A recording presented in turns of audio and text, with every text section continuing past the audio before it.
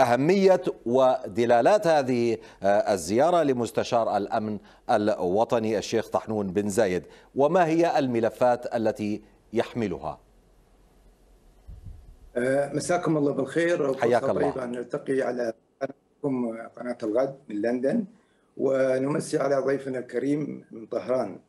الحقيقة دلالات زيارة مستشار الأمن الوطني لدولة الإمارات العربية المتحدة دلالات لها فرص كثيرة جدا في في منطقة الخليج دلالات تحمل ملفات المصلحة المشتركة ودلالات تؤكد على أن حسن الجوار هو دوام للاستقرار، هناك ملفات اقتصادية وملفات تبلورت بعد جائحة كورونا.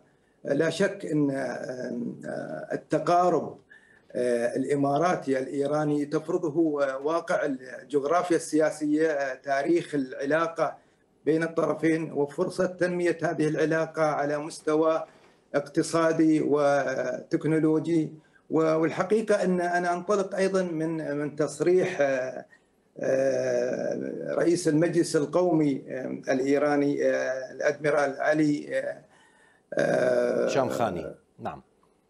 علي شامخاني وكانت فعلا دلالات واضحة أن التعاون وتبادل المصالح وتطوير العلاقات فيما بين البلدين لا شك هذا سيمهد كثيرا في حلحلة وتصفير المشاكل الموجودة. وهذا يعطينا بارقة بارقة أمل لظرف الإقليم يمر يعني بمراحل تحتاج إلى قرارات شجاعة ل إغلاق وتصفير هذه التحديات إذا أريد أن أفهم منك هذه النقطة كما ذكرت دكتور عبد الله حركة دبلوماسية نشطة للغاية وعلى أعلى المستويات في في في المنطقة. ما الذي يحصل في هذه المنطقة والإقليم؟ هل نحن فعلا أمام توجهات حقيقية لتصفير المشاكل البينية والتفات إلى التنمية وتحقيق مصالح وآمال الشعوب؟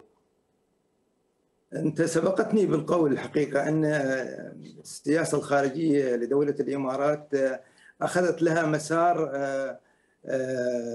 هو مش جديد أساسا لكن السياسة في خدمة الاقتصاد. والاقتصاد في خدمة الناس.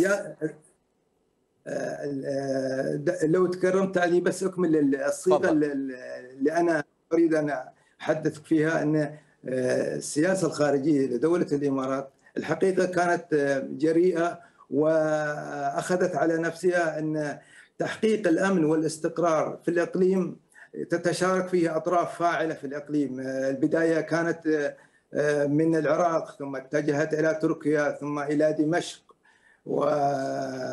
وقطر والآن جئنا إلى طهران. هذا المسار هو مسار واضح جدا لتحقيق الأمن والاستقرار في المنطقة. يدخل ضمن هذا المفهوم أيضا هناك تنشيط للعلاقات الاقتصادية في الأطراف المؤثرة في في هذا الإقليم. نعم. والداعمة بلا شك نحو تصفير هذه المشاكل اللي هي تتقاطع بين هذه الدول.